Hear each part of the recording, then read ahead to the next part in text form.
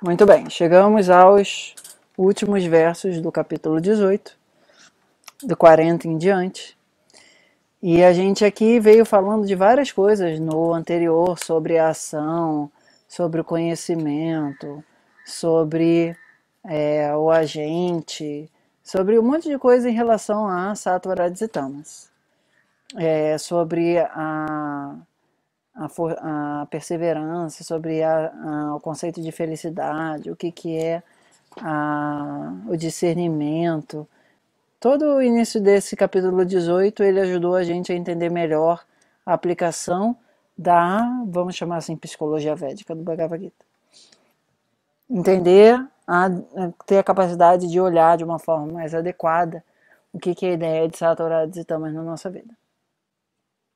Aí agora uh, tem um tópico bem importante que a gente vai ver melhor no curso de Psicologia Social, uh, que não é exatamente do Ayurveda, mas vai lá, tá lá o nome.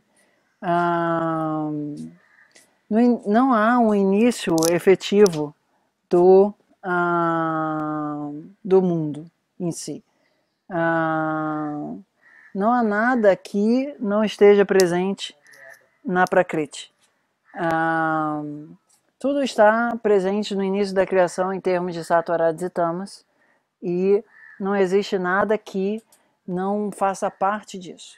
Ó oh, Arjuna, ah, os Brahmes, os Kshatriyas, os Vaixas e os Shudras, todos eles existem na natureza de uma forma natural e eles têm o seu papel na vida. Eles têm o seu papel na vida, eles têm a sua própria natureza, eles têm atenção à sua função. Aí vamos ao verso 42 agora, isso é bem importante. Ah, a, a capacidade de controle da mente, o controle dos sentidos, a autodisciplina, a pureza, a integridade, a capacidade de perdoar, a honestidade a sabedoria a, e a capacidade de autorrealização, a fé no divino, constituem os deveres dos Brahmins, constituem a, a necessidade fundamental dos Brahmins. Eles devem fazer isso a partir da sua própria natureza, sem esforço. Isso deve ser algo natural na vida dessas pessoas. Ponto verso 43. A coragem, a, a, o brilho nato, a, a capacidade de enfrentar a, grandes desgastes que requerem muito controle mental, o, a ação corporal rápida e destra, a, o sentimento de que é necessário não escapar das batalhas, a, a capacidade de fazer as coisas com a magnanimidade e a capacidade de liderança são as ações naturais aos kshatriyas. Os kshatriyas fazem isso sem esforço. Verso 44. Trabalhar o solo, criar o gado e gerar negócios são as, as, os deveres naturais dos Vaixas. E as ações que são feitas em prol dos outros, que são feitas a serviço dos outros, são a propensão natural dos Shudras. Que não são Sudras, ok? Shudras. Atenção, esse verso aqui, o 45 e 46, ele é fundamental para a gente ter uma, uma noção mais adequada, em vez de preconceituosa da coisa. Cada um nascido com uma determinada propensão deve agir de acordo com essa propensão. Quanto mais ele age sinceramente, de acordo com essa propensão, mais ele alcança o sucesso. Verso 46. Uma pessoa atinge a perfeição por venerar os seus dons, os seus talentos naturais. Todas as pessoas têm o seu talento, todas as pessoas têm o seu lugar no mundo. Todos eles, de alguma forma, é, se, se desenvolvem. Todos eles de alguma forma crescem. Atenção, é agora, hein? Verso 47 e 48. Mas, ó, Shreyam Swadharmo Viguna Paradharmat Swanushtitat Swabhavanyantam Karma Kurvanapto Napnoti Kibisham Mais do que fazer um Dharma que não é seu de uma maneira ah, bem feita, é melhor fazer o seu de uma forma imperfeita. De novo, melhor do que fazer o Dharma de outro de uma forma bem feita, é melhor fazer o seu de uma forma imperfeita. Pois aquele que performa o seu Dharma de uma maneira sincera, independente dos resultados, atenção, ele não gera pecado. Ele não gera ah, desacordo com o plano divino. Ó filho de Kunti, você não deve, ninguém deve abandonar o seu próprio ah, dever natural, ainda que seja feito de uma forma imperfeita e inadequada. Porque ah, fazer o que é o Dharma do outro é algo prejudicial a todos. Forte, né? Bom, então esses foram os versos 40 a 48 do capítulo 18.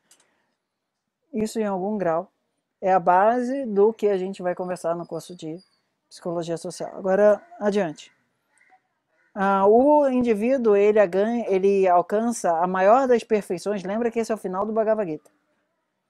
Um estado de ação é, sem busca de uma recompensa.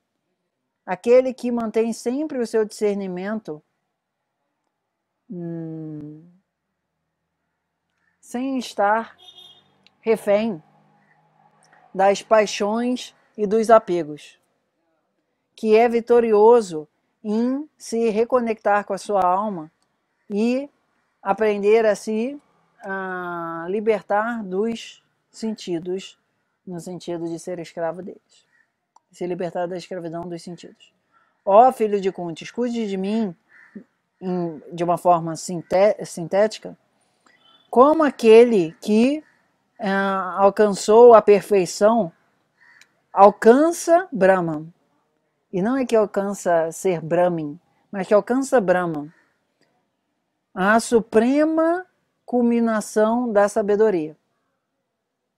Então, até aqui, a princípio, não são só os Brahmins que podem alcançar uh, a iluminação. Isso é muito importante.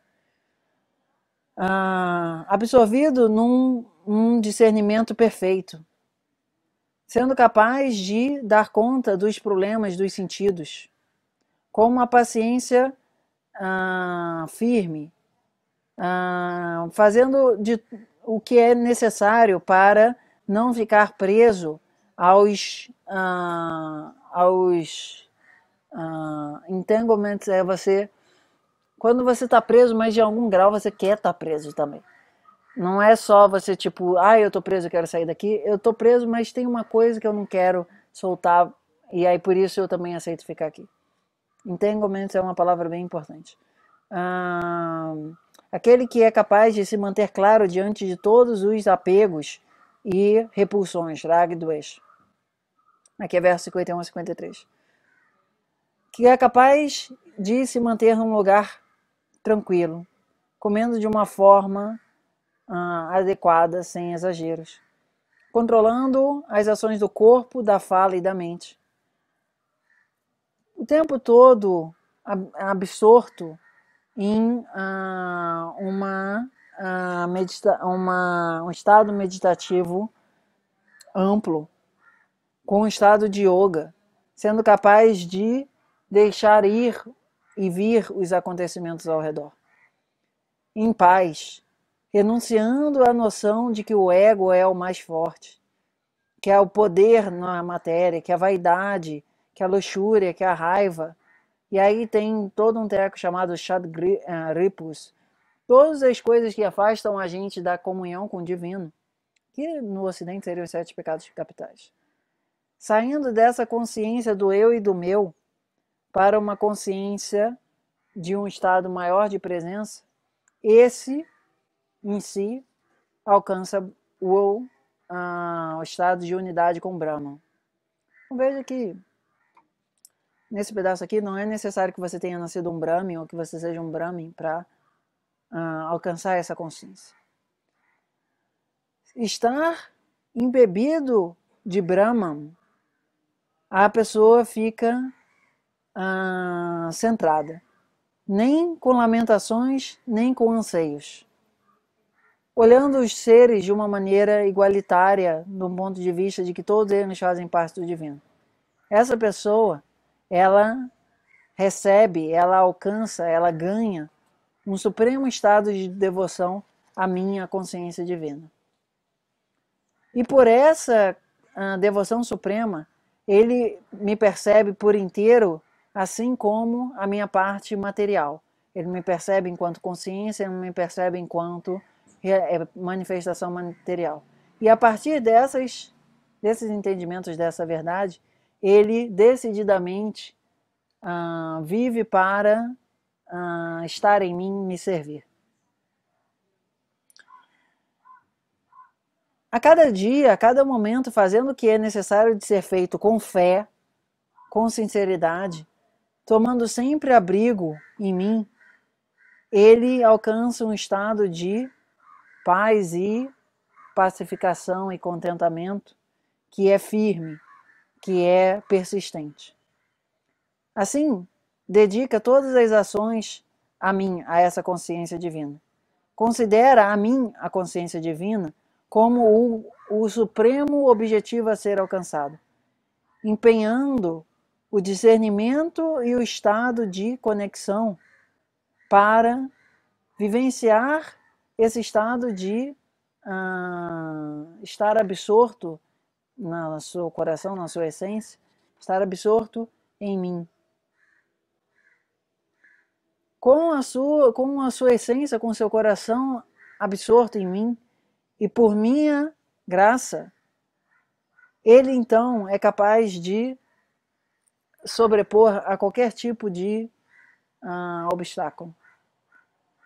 Mas, se ele uh, perde esse estado de reverência, se ele se torna novamente egóico, então tudo é posto a perder tudo é passível novamente de ser destruído.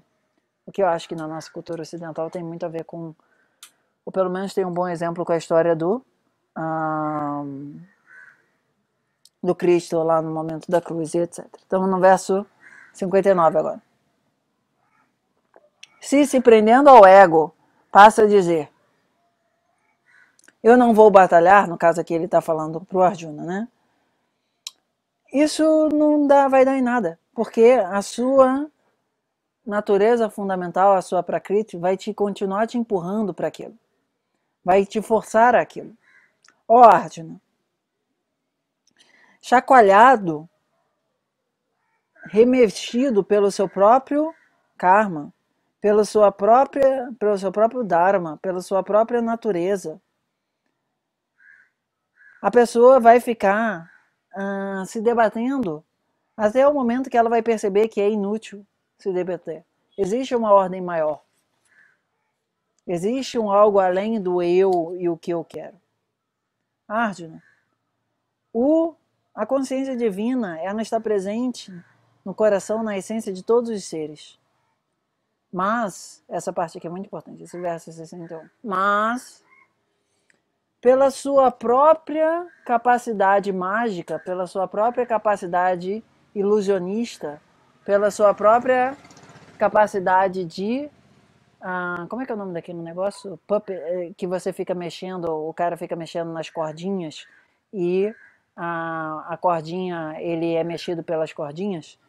Pela, pelo próprio poder de apego à matéria, a pessoa fica desconectada e ela é ah, mexida por essas cordinhas do, Não é marinete, eu já não lembro mais qual é a palavra disso.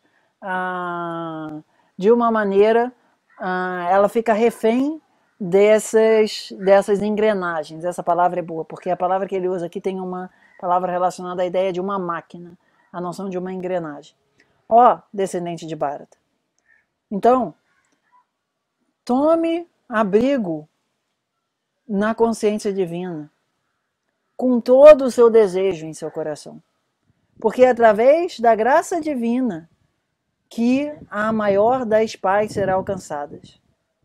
É ali o verdadeiro abrigo. Portanto, escute essa sabedoria, o maior dos segredos que ah, foi lhe transmitido aqui por mim. Porém, após escutar isso tudo, faça o que você desejar. Essa frase é muito importante. Novamente, escute o que foi dito. Relembre desse grande segredo. Ele foi transmitido a você porque eu te. Aí a palavra em português, te amo, não é muito adequada. Uh, eu tenho um carinho infinito por você. E eu sei que esse conhecimento, você tem méritos para receber ele. Você é capaz de escutar ele adequadamente. Essa parte também é importante. Já vai chegar uma outra frase importante. Ó oh, Arjuna, deixe sua mente completamente absorta em mim. Se torne absoluto devoto de mim, da consciência divina. Deixe para trás todas as suas preocupações. Apenas se entregue a essa consciência divina. Você sempre será é, querido a mim. E dessa forma eu te prometo, assim você me alcançará.